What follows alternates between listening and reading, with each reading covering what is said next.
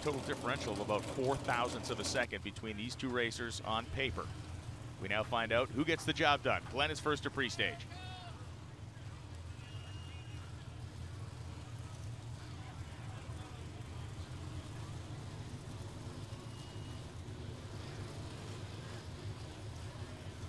The Pro Stock final in St. Louis is going to take just a little bit more as both drivers sit in pre-stage. Erica goes in first.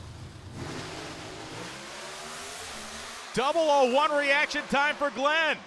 Erica was 10 on the Christmas tree. Finish line stripe. The win light comes on for Erica Enders. 657.2, 207 miles an hour. She wins by two thousandths of a second to collect career victory number 33 in her 60th career final round.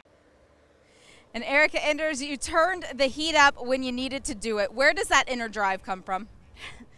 I don't know, Jamie. I'm just thankful that the good Lord blessed me with it. There's a lot of people that have carried me through my struggles here, especially my dad, my sister, my two crew chiefs. I talked to Rick Jones on, on the phone this morning before the day got started, and he said, You're the baddest there is out there. And sometimes you just need to hear that from people you love. But it takes a lot of digging deep. Mark Ingersoll and Tim Freeman, they both told me up there, you said you go 10, you can't lose. And I don't know how, but we did. And we just continue to dig deep. But for Melling, Melling Performance, Gallagher Insurance, Transportation Impact, Gunskins, High Performance Lubricants, Dave, thank you so much. Man, this is this is awesome. Three three St. Louis's in a row. Happy birthday to my dad.